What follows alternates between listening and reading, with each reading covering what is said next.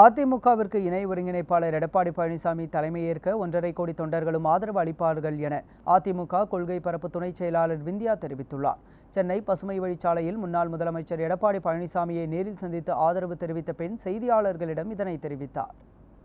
ஒன்றரை கோடி தொண்டர்களும் தற்போது இபிஎஸ் தான் வரணும் அப்படின்னு சொல்லி சந்தோஷமா வரட்டும்ன்ற அதிகமான தொண்டர்கள் யாரை சொல்றாங்களோ அண்ணன் இபிஎஸ் அவர்களை தான் விரும்புறாங்க. அவரை தான் கொண்டாடுவாங்க. அவர் வந்தாதான் எல்லாருக்கும் நம்பிக்கை வரும்.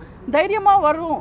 அரசியல் பண்ண முடியும் திமுகவை எதிர்த்து பேச முடியும் மக்களை காப்பாற்ற முடியும்னா நிச்சயமாக இபிஎஸ் அண்ணன் தான் வரணும். அதில் மாற்று கருத்தே கிடையாது.